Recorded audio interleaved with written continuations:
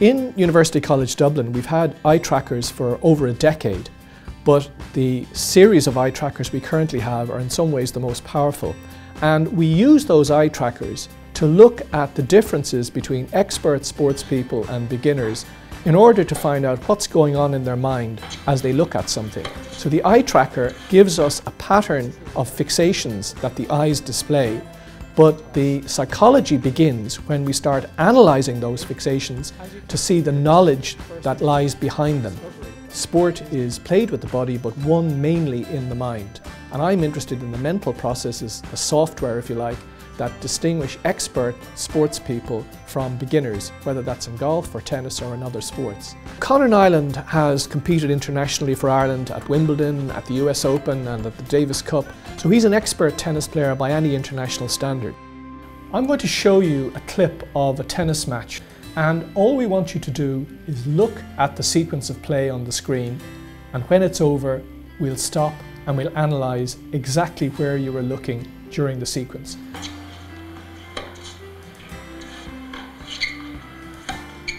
Now this is probably the most interesting discovery from the video sequence as far as we're concerned. The blue marks exactly where the beginner is focusing, which as usual is on the ball. But you've done something quite strange, which is that your focus is on a point in the court where nobody is at the moment. Yeah. So our conclusion is that you were anticipating the position that the opponent would end up in a second ahead of reality. Well, the obvious question that arises when you talk about eye tracking research is how do you bring it from the lab to real life?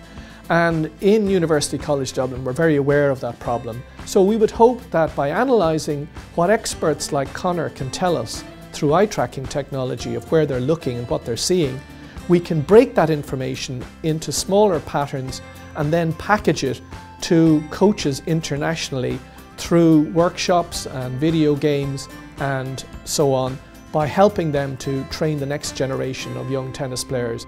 Tennis, I suppose, has been, uh, you know, it's an international sport and in terms of nutrition and, uh, you know, physical training, it's kind of always been kind of at the forefront. Uh, and I think this is maybe the next, the next step up. Um, you know, I've heard little things about eye tracking, but I'd never really seen it put in practice.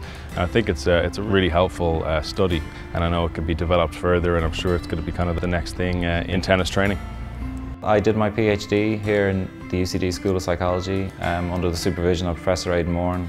I was a very keen golfer when I started here in UCD, so I was on the Irish amateur golf teams, underage and all the way through to the men's team. So I was very interested in looking at how golfers perceive slope. So um, in golf it's called green reading and at the time there was no studies done on it in uh, psychology so I wanted to explore this uh, with looking at visual attention and eye tracking measures.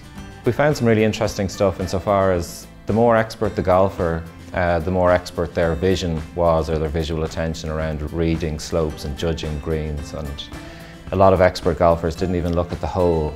They tended to look short of the target and beyond the target uh, in different areas and they they also looked there for a lot longer so they tended to process that information more deeply or more efficiently as well.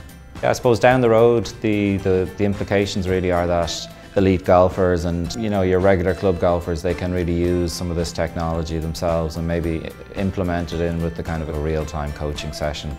Eye tracking enables us, for instance, through innovation to find high-speed answers to puzzles that have been around for over a century.